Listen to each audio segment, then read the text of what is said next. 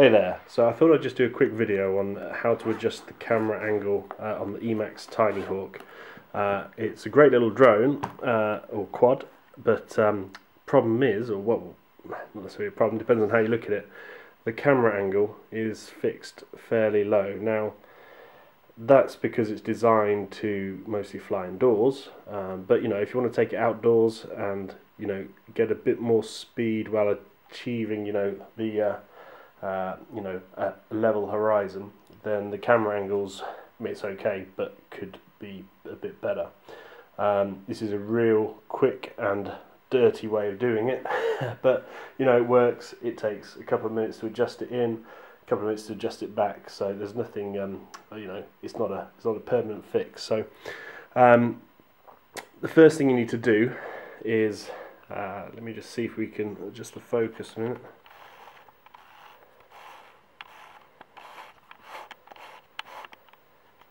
Uh, so the first thing, uh,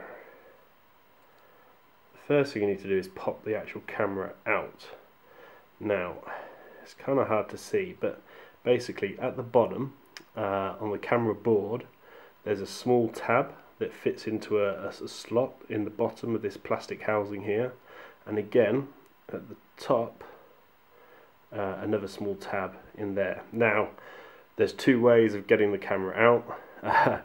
the quickest and the easiest way, the one I find the easiest to do, is basically just to crash it into something. Uh, I've done a few of those and the camera's always popping out.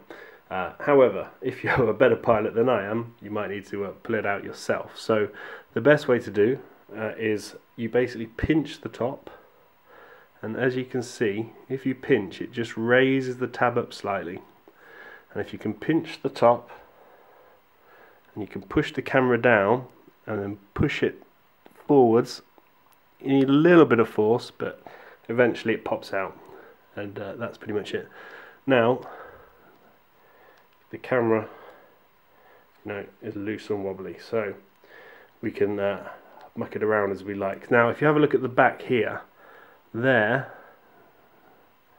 uh, there you should be able to see the tab that we've just popped out of the top um, the best thing I found to do is if you flip it back in, also what you may find is the tab at the bottom of the camera uh, it also comes loose. So try and wiggle it around, takes a little bit of wiggling. Uh, if you get that back in, there's a little hole which it should fit into normally.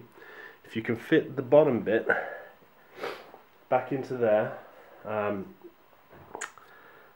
back into there and keep the top out of its tab. And that's generally the ideal place I found anyway. So there I've got it back in there. However the top and the back is still loose. Now that's great. Now if you have a look now the camera angle is much higher. You were talking it's probably about 45 degrees which you know, maybe a bit too much for some people, but you know, it's either 45 or 20, 25, which is this kind of normal set. Um, you can probably fiddle around with it a bit more to get sort of 30, 35, which would be my preference, but um, at the moment I'm stuck with 45. Now, like I said, quick and dirty, the easy way to do it. Um, if you can just get yourself a small bit of foam, um, it's about you know three quarters of a centimeter thick. Cut it lengthways to about a centimeter and then cut it uh, two centimeters or so long and then cut that in half. You have these two little sponges and basically best thing to do then is at the front or actually go the back first it generally works out a bit better. If you just slot it in uh, pull the camera the camera back. And then you want to squeeze it up and just slot it in above the camera tab and the body. And then if you get a small screwdriver or anything pokey and just literally just squeeze it in, push it in. Be careful you don't push too hard obviously, you don't want to be uh, poking any too much circuits but isn't too much there you should be able to get into trouble with.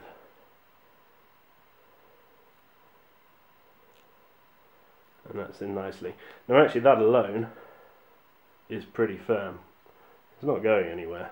Um, but just for completeness sake, just do the same at the bottom of the camera there. This one goes in a little bit easier. And just, you know, poke it in and make sure it's fairly comfy. Again, don't poke anything too hard. Just get it nice and snug in there. It should just squish in. If you've got a small pair of scissors, you can obviously just trim any excess that you may have. And there you go. Quick and dirty. I never said it was pretty. It's not meant to be. The good thing about this is, you know, if you don't like this or you make a couple of flights with it, you want it back to normal, all you do, pull one bit out, pull the other bit back, and then it's a case of re-putting the camera back into its housing again. So there, I've just popped the tab out the bottom by accident, so we'll put that back in, in the bottom. So, know if you can see, it's quite hard, quite fiddly. Uh, put that in there, and then to get the top tab back in, again what you do is just pinch the top, and if you push the camera down, it's kind of hard to do without fingers being in the way, but if you pinch the top, it just raises the housing, push the camera down, there, and it's back in again and you've got your 20-25 degree uh, angle back. Okay, well that's it. Uh, maybe you found this useful, hope you did. Quick and dirty, easy in, easy out. You can do it as much as you like, nice and quickly. If you like it, give us a like. Alright, cheers. Catch you later.